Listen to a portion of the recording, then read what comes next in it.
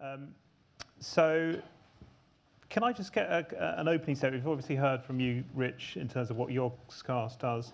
Could I get an opening statement from each of the three other panelists um, in terms of um, what their role is and uh, what company they represent or organisation they represent, um, and in the context of David and Randall, you know what their how their business intersects with online video in relation to games content.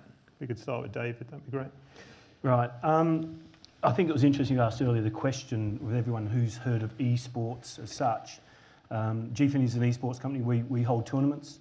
Uh, we run tournaments every day. Every night we have people playing online for either a prize money or free in various competitions, ranging from games you probably would have heard of, like FIFA or Call of Duty, but also StarCraft and a few other games as well.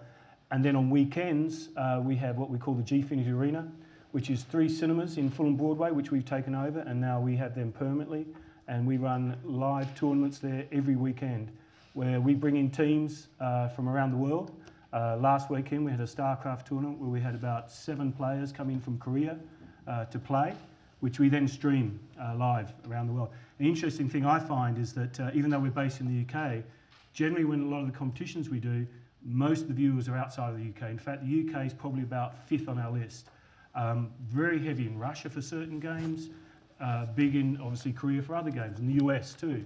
So it varies upon which game is being played and which teams are playing. So that's why we're really keen to bring teams in from overseas. So we bring in teams from the US, Sweden as well. Um, I won't. Let's, let's, let's stick with that with the intro. Yeah, yeah, yeah. yeah, okay. so far, yeah. Um, Jo. Uh, I'm uh, Jo, and I am a last-minute stand-in. Sorry. Um, yeah. So um, I represent. I'm CEO of UK Interactive Entertainment, who represents the games businesses in the UK, uh, right from the big publishers and developers, uh, from EA to Activision, right down to the uh, uh, hundreds, if not thousands, of small micro studios that are popping up all over the country. Our mission is to make the UK the best place in the world to make and sell games. Um, I, we uh, help support, grow, and promote the sector, and more importantly, the whole culture around games, which sometimes does get uh, uh, sort of bypassed by traditional media. I came from a background of BBC and commissioning and multi-platform commissioning, as well as Channel 4 and education commissioning, where I commissioned games. Um, and uh, we used uh, YouTubers in the early days of YouTube um, if I was young enough again, I would be Twitch streaming every day, as I used to do on YouTube.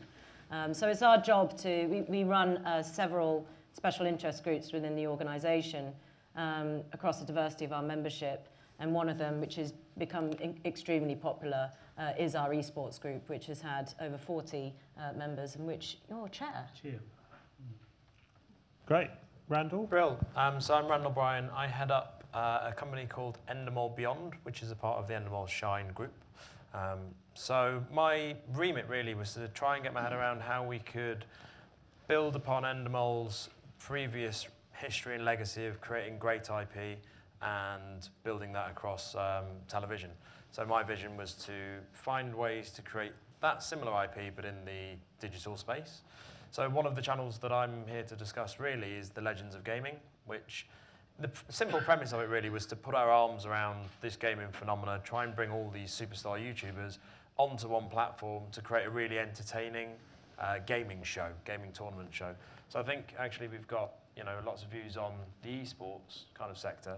We're more just an entertainment platform that features some of the wonderful uh, characters that we have across the industry. Very good. I forgot to introduce my colleague Steve at the end there, Steve Bailey, who's one, one of my team members. Um, um, let's talk about um, content. Um, what, what, um, what have you found about how content uh, trends have changed in terms of uh, games content on online video? Obviously, it's evolved over time, Rich. Um, it's become, uh, I guess you have some sort of ideas um, before you make a, a producer piece, what's going to work and what isn't, and um, I guess you have certain stipulations over the length of content that you make for YouTube in particular. Um, I guess there's multiple dimensions to this, but can you talk a little bit about the content and how you go about deciding what will work and what won't work? Yeah, um, certainly in the beginning it was just making it up as you went along. It was um, playing games, and editing it into where the, where the funny bits were and try not to make it too long. Um, during the, the years of Yogscast, we have, we've refined that process. So we have people who look at, um, who look at the analytics, and when we feed that back into the producers who do the planning of the, of, of the programming that we do, and so we try and get the sweet spots for, for length of time and kind of content that we do. So you can get, you can get certainly in YouTube, uh, much more than, than Twitch at the moment, you can get really good analytics showing um, where people have dropped off viewing, where, where the funny bits are, you see where people have, have rewound and watched them again, you see where, at what point people have shared your content. And so we dig very deeply into that and try and work out what works. But, and we have producers who set up the games at, at interesting points for, for, the guys to play, but um, none of it's scripted and it is essentially they go into their studios, they play games and they bounce off each other. And um, sometimes that works, sometimes it doesn't. Um, if it doesn't, it gets left on the, on the um, cutting room floor. Um, but us usually it works. Um, the kinds of content we do um, hasn't, uh, uh, we still do a lot of let's play, and that hasn't changed a huge amount. The Are there different kind of types of let's play? I mean, what is there? Mean, let's play is quite a broad kind of, it's people playing games and sort of talking over them and sort of reacting to what's going on in, in the action. But is there any sophistication to um, the Let's Play content? I'd love to say yes. Um, not, not to the actual content, no, no, it, it really is. It's about the sophistication, is about understanding what will work and what won't work, okay. and uh, going through the planning process to, to make it more likely that that will happen on each recording session. Um, because we, we create about 10 hours of program every day across all the channels, we, we can't waste that time that we have the talent in the studio in. So we, we try and manage that process as much as possible. Okay. Uh, Randall, um, you've got, I suppose, a specific format in terms of Legends of Gaming. Yep. You've, you've got this whole premise of bringing uh, YouTubers or YouTube, big YouTube personalities together to game against each other yep. um, or compete on certain um, types of challenges within games, etc. What what kind of drove you to decide on that format? Well, the format, just as a quick overview, is eight of the biggest gamers in the UK all coming together on one platform to go head to head, and it's a little bit, in my opinion, what the fans have been waiting for. You know, these YouTubers have built their careers over the last three, four years doing ad hoc kind of verses against their friends, challenging each other, and the numbers that these guys are hitting are insane. I think the Legends of Gaming channel kind of reaches 30 million subscribers collectively with 8 billion views. So there is a community. People know these gamers, people follow these gamers, and they've always wanted to see what it would be like having someone like Ali play against Syndicate. And in their world, that is like having Liverpool play against Man United. It's a real, real big duel people get together, get excited, and kind of want to watch those. So we wanted to bring everyone together to give the fans the opportunity to actually see that. Um, and I think it's also our ambition to elevate the content that was already being created on YouTube. So if we look at someone like a Wroetoshaw or a KSI, a lot of their FIFA vlogs will be done in their bedroom. They'll be, they're great entertainers, they're charismatic, they really, really do relate to their fans, but they're still simple productions done on a webcam. Sound quality is not so great. So what we wanted to do was actually bring that into a studio. We've got the neon lights, we've got the big intro, we've got kind of you know transitions, a bit of special effects, and we're just trying to make it a bit more of a spectacle um, and elevate the content a little bit. Okay. Um, Steve, have you got a question? Do you want to take a question? Uh, well, on the content side of things, to Rich, you said that your viewers consume about eight minutes per day, eight, nine minutes roughly? Per session, yeah. Per session? Per session. Does that, is that um, just one video or does that include multiple videos? Well, we only, we only see our bit, so we, we can't see the full session time that YouTube will know. Um, that can be more than one video, but... Um, mm -hmm. Okay.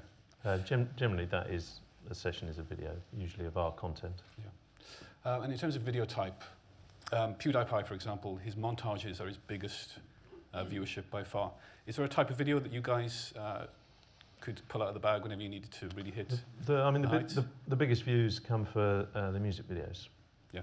Um, so all our all our biggest, um, all our sort of 20, 30 million view videos are are for very badly sung uh, parodies of, of, uh, of other, other songs, um, usually animated, um, which is part of the fun. Well, what's the anim- I mean, what's the animated? Can you explain? it? I haven't seen these examples. What's the uh, what's how is it animated? Is it animated of game scenes or in game or No, what's the- no, no. It's it's, um, it's usually animated of. So all the guys have sort of alter ego characters. So it's Okay. animated with them doing silly things that relate to the relate to the song. So this is completely original content. Original. Yeah, we used to do a lot of um, parodies of of hit songs. Um, but there are some legal issues around that, so we, we do we do less of that these days. Um, and a lot of our stuff is originally made uh, made stuff. Yes, and, and and we have in-house animator who um, spends most of his time animating those songs. Um, David, is there anything on the content side? Obviously, Yeah. you know, it's tournament play and it's uh, esports, so it's kind of the format is set. But is there anything outside of the actual when the tournament's playing, or you know, the casting or anything like that, Well, which I- is I of want- interest? wanted to make clear a bit of differentiation between esports and YouTube. And when they talk about gamers on YouTube, they generally are not what I'd consider professional esports players. Generally. We are rubbish at video games. Properly rubbish, and that's, as that's what people like watching. Um, the people who are playing esports are full-time professional players. Um, they will train eight hours a day, six, seven days a week. And it's not just playing video games. They have dietitians, they have, um, uh, They, they have fitness coaches, because they work on the fact of a healthy body, healthy mind. And you won't find any of them generally overweight, um, because, and also the other thing is interesting with it, is they generally burn out by about 26 years old. um, because the focus and concentration is so intense when they're playing games. Um, and obviously, as you heard about the League of Legends, there's also quite big money in it too. Um, League of Legends had prize money of about 10.9 million US dollars, which is uh, only after Wimbledon is the second highest sports prize money. It's more than if you win the FA Cup. You only get about 2 million. So, there's, and the, the winners of that were 5 million shares. So it is a much more intense and much more, um, uh, as I say, the players, to some extent, they have big followings on Twitter. They do have certain areas there where, where people follow them on Facebook as well. But I just want to make sure there's a bit of a differentiation between it.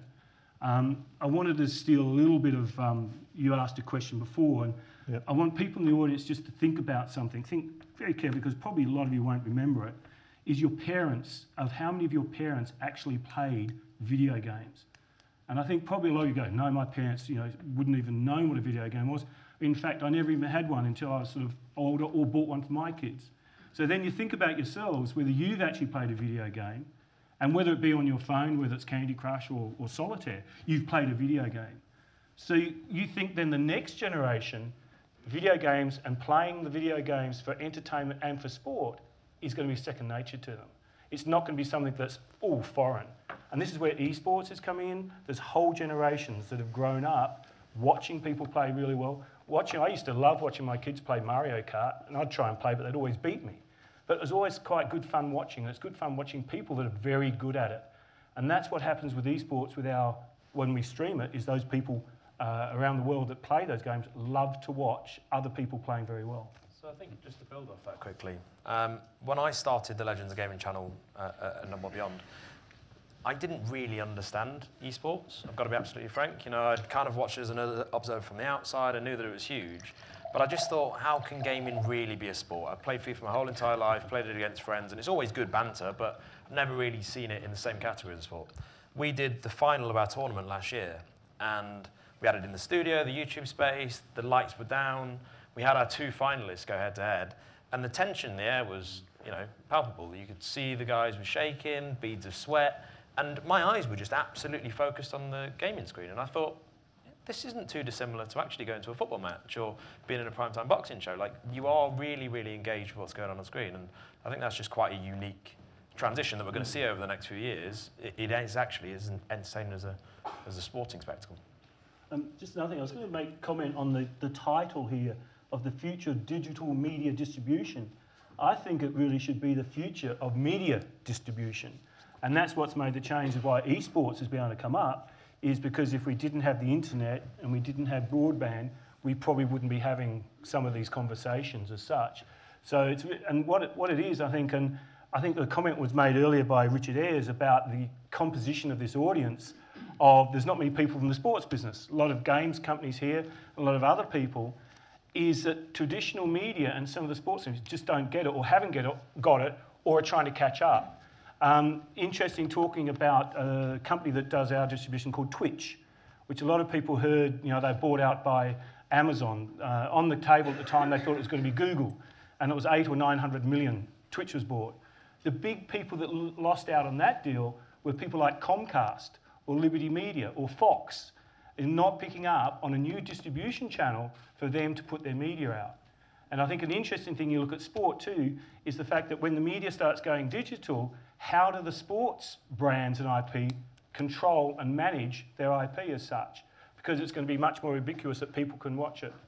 Um, I could go on a bit, but there was, yeah. there was one comment I wanted to make about sport where one, uh, when I say sporting franchise has probably got it, and that's in America with Major League Baseball. They actually set up their own streaming service in 2000, year 2000. Now it makes up to 8% of their income, 800 million a year they make from streaming their games uh, live to their fans. Um, Jo, Sorry. I want to ask you a question about independent developers and how uh, YouTube channels have really taken to independent content and um, enabled some games to actually become viral hits or you know develop into much bigger properties off the back of that.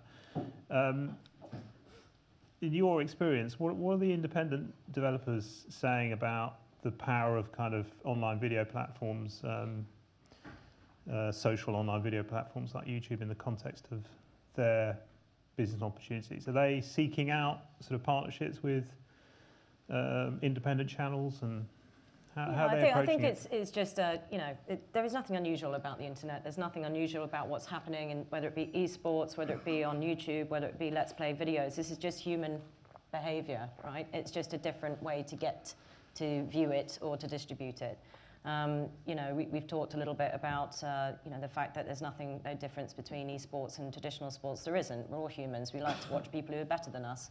And in fact, esports existed in 1970s with uh, uh, Space Invaders tournaments. Um, so, you know, indie developers, so independent developers, there's been a big swell of independent developers because of these things and because of the ability to uh, have free tools that make it more accessible to make games um, like Unity and Epic, the engines. And you know, we have this uh, fantastic opportunity and innovation in different business models, and you can go straight to your players globally. You can immediately become an exporter.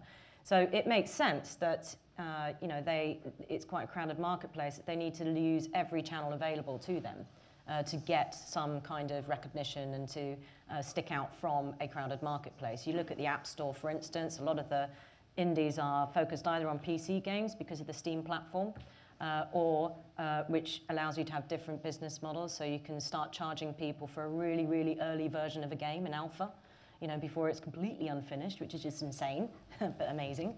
Um, and these things have, you know, the App Store in particular coincided with this explosion of these micro studios, independent developers, but it's become crowded and the top category in, across all platforms is always games. So they have to form these relationships, and sometimes it's serendipitous. You know, uh, Thomas Was Alone, which was created by fantastic indie hero of the UK at the moment called Mike Bithell, called Mike Bithell. Um, really, it kind of took off once um, uh, a, a, very popular YouTuber uh, did a review of it. And you know, they, they understand that this is exactly the same as, as how any other media has ever worked. It's about relationships and it is about personality, as we've heard. The games industry and games culture generally has been completely ignored by mainstream media uh, in terms of reflecting it back to its audiences. And the reason why these communities of uh, YouTubers, Let's Play videos, Twitch, esports fans exist is because finally they're able to share in that stuff that they love um, because TV simply isn't reflecting in any way games culture and the culture which they love back at them in any way. and I can say that with confidence. Um, so I think, uh, you know, you live and die by uh, being able to get that discoverability. A lot of it is, is serendipitous. a lot of it One is of- strategic. One of the big issues of the platform is the discoverability. Obviously, um, not so much on live events with esports where it's kind of framed in a, in a specific session which you go and watch. Um, but in terms of YouTube, yeah. you know, actually finding content, and Well, now we've got yeah. a huge amount of more content coming onto the. So finding content is always a problem, right? So you need people to be saying to you, uh, oh, I like this, or uh, there's this Let's Play video that's uh, showing you this thing, and, and PewDiePie is leading the pack uh, in a lot of ways for a younger demographic as well, um, you know, in doing that. But um, I think that, i again, it's about, it's about, for me, it's about them revealing their personality behind the game. And I think the clever indie developers are the ones who are using Twitch and using YouTube in a way to peel open and unveil, you know, sort of un- peel open the layers of development. And they're very much, you know, we live and die by our community, by our fans, by the people who are uh, getting interested at an early stage in the concept and the idea, and you're building up that interest and awareness. People are doing that in the games industry very successfully through crowd uh, funding campaigns, um, regardless of whether they get the target money or not. It's about that getting that audience, getting that community of interest in, and building on that. Um, another great example is uh, uh, a guy called indie developer called Rami Ismail um, uh, from Holland, who uh, calls it performative development, which I love. So basically, he uses Twitch and live streams his development process. So he's talking to his audience and they're asking questions as he's developing the game. You know, who would have thunk it? Uh, if I'd been pitched that idea at Channel 4 or BBC, uh, I would never have got it greenlit. Uh, Randall, do you have any comments on discoverability? Because I, I mean, what? Yeah. Yeah. So how, how um, do you think um, something like YouTube, some a platform like YouTube, could improve to well, there's there's two things. help I mean, with discoverability? yesterday we googled gaming on we do all the word gaming uh, came up with 250 million results. You go on youtube you do the same you're hitting around 200 million results for gaming as a title. That means there's 250 million pieces of content out there that are gaming. Like how on earth am i ever going to know which one of those is going to be a good video? So i think the youtube platform is incredibly good at actually hiding content. Um, it's built on an algorithm which you know just looks at accelerated views, engagements, and likes, which is fine. But if you're an incumbent with a big subscriber base, you're always going to be surfaced to the top of that algorithm. So what we're trying to do is find a way to bring back the role of an editor, in a sense of actually there are certain pieces of content which have higher levels of production, which might be a bit more premium, which you might be able to sell a bit more advertising against. And we need to find a way to get that actually surfaced to the top. Um, so our thoughts are really starting to build off YouTube as a platform and looking at networks like AOL, like Twitch, um, that actually have more editorialized platforms where they can give you prominence on the homepage, they can give you prominence in display media, and actually go to platforms that do have that, that ability to, to push content rather than just to um, hide you in a, in a stack of other videos. Can I just make a point on that? So what, what I find interesting is um, at, at BBC we had long discussions, strategic discussions about you know channels and the death of channels because of iPlayer, which was a load of nonsense because channels are a key way in which people can navigate and to uh, learn what to expect.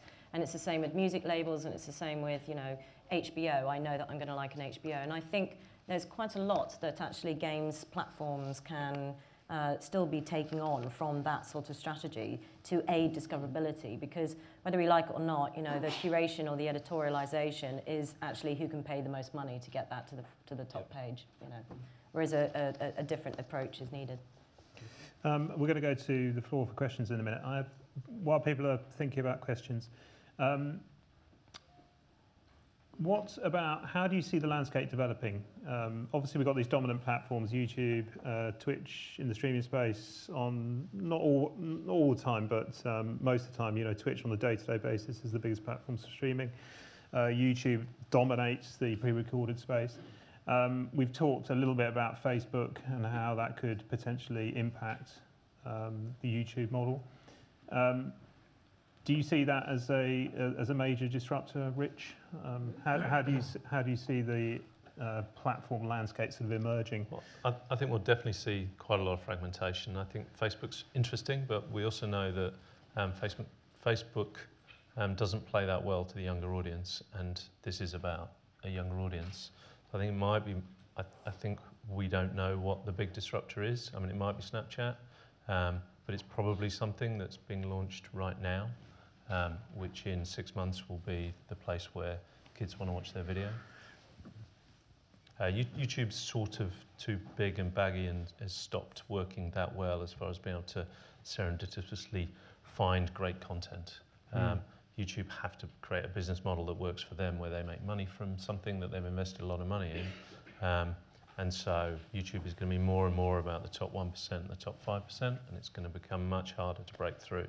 The age of these big breakout YouTubers um, is you think that phase is done? It's pretty much done, yeah. Mm. Yeah, I think it's, it's, done. It's virtual reality is the interesting thing to look at. If you look at what was behind, uh, or who was behind the Facebook acquisition of Oculus Rift, which was the first kind of virtual reality headset to hit the consciousness uh, in recent years, and it was crowdfunded, it was kickstarted.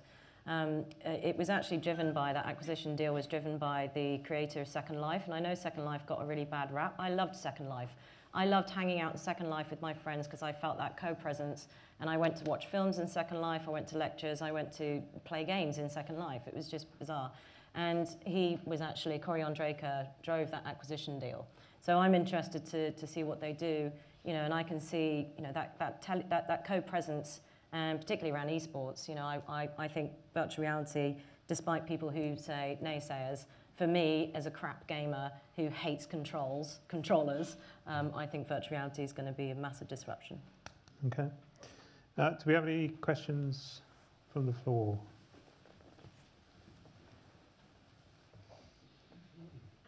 Any other thoughts?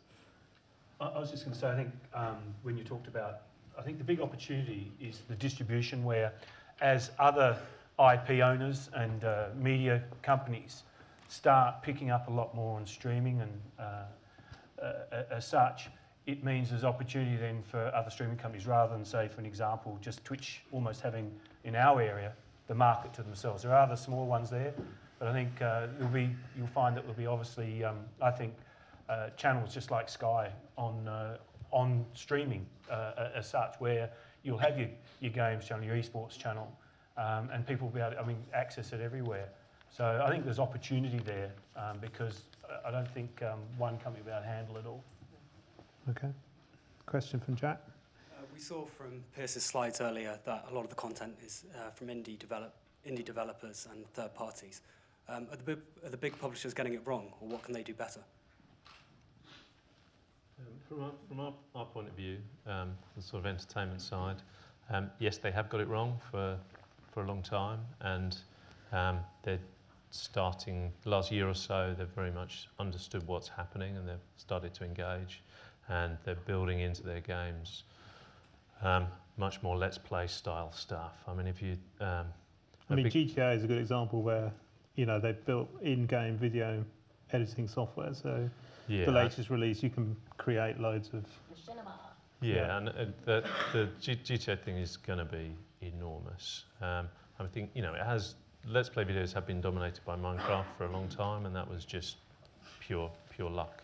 Um, but yeah, they're, they're, definitely engaging in it. They definitely see the value of it. They're just um, pretty late to the party. I think that YouTube, sorry, I'll talk about YouTube specifically because that's the kind of area that I work in, but it's the platform of the niche. So there's never a chance that I Am Bread, which is a game where you are just a slice of bread and you've got to flop around on a table and put jam on yourself. There's, there's no platform in the world that that could ever get any airtime. So what's happening on YouTube is it's democratization. It's like people actually think, you know what, that's hilarious. How ridiculous is that? I'll never see it anywhere else. And all of a sudden, they turn into these real viral surges. So I think indie game developers have got an opportunity to do things that you can innovate within those digital video platforms that you just can't do anywhere else and get the same attention and the same noise. So there's two different spectrums. There are the indie games that, that will get incredible breakthrough because they're so irreverent. And then there are what are essentially cinematic movie releases like the Call of Duties. So you have both and it's just interesting and it's quite exciting that the platform can accommodate for both of those. So our channel does. We try and harness both of those kind of formats. And I'm sure across the board they also um, like to feature a mix of that content. They also have, I mean, they're better set up. You know, we, we shouldn't underestimate. We talk in terms of big companies and small companies rather than developers and indies and publishers. And they're better set up, you know, to be resourcing, have a team of community managers, um, to be understanding that that's a co-creation process. Um, but they, they also, we shouldn't underestimate still the power of traditional advertising on TV. You know, when Moshi Monsters advertised around adult telly, not sex telly, I mean adult program, I mean, you know, grown-up telly. um, that, uh, that uh, you know, signified a real shoot in trust and people started buying, you know, uh, Moshi Monsters. And when uh, Candy Crush King was able, because uh, TV, TV advertising is expensive, to put the, that game right in front of a non-traditional, non-core audience, non-core gamer audience, whatever the hell that means, you know, Candy Crush suddenly became a game that loads of women played. But women don't just play Candy Crush. um, so just one final question, and it's really about the challenges, and I think zero in on the challenges of monetization of content. Obviously, most of your revenue comes from um, ads. Is ad? Um, sorry, most of your revenue is from ads. Yes. Um, is that sustainable as a commercial model from your perspective? I know you've tried to diversify into other segments. Um, I think that's a question that's relevant to all the three uh, operators within the, within the space. How, how is ad revenue, and is that going to maintain itself? Is it going to grow? Is it what, what's the what are the kind of dynamics of that? Um, well, pre-roll ad revenue, so um, CPM-based pre-roll is, um, which is the still our main revenue stream. It is um, CPMs are going down. There is more video, there is not that much more money, um, so it's getting evened out under. Uh, so CPMs have come down, so we make less money through that route. So the, to have a sustainable business, a business where we employ 20, 30 people to be behind the scenes, where we have studios, where we try and build new stars, um, we need to have other revenue streams. We can't sustain ourselves just from advertising. So um, Things like um, Patreon is very interesting. Things like subscription models are really interesting. Um, but for us, we have a big community, and it's it's about um, someone said earlier about turning fans into customers. Um, that is a that is a model for us, but doing it in a way that um, works for everyone. Um, David, I mean, I, I don't think the ad, yeah. we, we were forecasting that the ad revenue for esports is going to grow quite substantially over the next few years. Is that? Yeah, unfortunately, at the moment, I don't think there's too many esports companies making too much money uh, at all. Um, but it is sort of very much at that uh, growth stage. And the main sort of revenue streams at the moment are through sponsorship and advertising. And uh, it would be quite surprising, I think, some of the uh, people that are sponsoring, people like American Express, Nissan, uh, obviously Red Bull, and, and Coca Cola actually have an esports department as well, because they actually get it, because uh, we very much know our audience and have great access to them, and their consumption of media is higher than the mainstream media. So, an esports fan will watch an average of 27 minutes of esports compared to, say, normal sports in a month. You know, it's 13 minutes. I think there's reasons for that because you know a lot of normal sports fans will actually probably be at a live game and just watch the highlights or something later, but they actually get really into it. So, I think our opportunities are there. Um, the other one that um, we really don't work on too much is uh, subscription but the, that will come. I think the subscription area is, is very interesting. If you look in 2014, esports audience, if you look across the behaviour, again, at a human level, what is it that they like? So it's not just about ad revenue, it's about different types of deals that can be done.